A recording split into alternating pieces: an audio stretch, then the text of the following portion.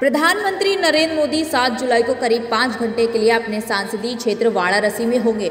आपको बता दें कि पीएम का ये दौरा काशी के टूरिज़्म, जॉब और स्पोर्ट के साथ ही मूलभूत सुविधाओं के लिए भी अहम है। तैयारी है कि 1800 करोड़ के नए प्रोजेक्ट से वाराणसी के विकास को गति दी जाए। आपको बता दें कि इसमें युवा खेल प्रतिभाओं के लिए स्पोर्ट स्टेडियम के कार्यकल्प की बुनियाद भी पीएम मोदी रखने वाले हैं। तो वहीं वाराणसी जंक्शन के बाहर चौका घाट लहर तारा फ्लाईओवर के नीचे नाइट बाज़ार विकसित किया गया है। ये 10 करोड़ की लागत से तैयार हुआ है। आपको बता दें कि इस बाज़ार की दीवारों पर काशी की कला और संस्कृति को उभारा गया है। यहाँ पर सेल्फी पॉइंट भी बनाया गया है। इसके साथ ही फाउंटेन, पाथवे, फ़ूड कोर्ट और ओपन कैफ़े जैसी भी सुविधाएँ दी गई हैं। ब्यूरो रिपोर्ट आई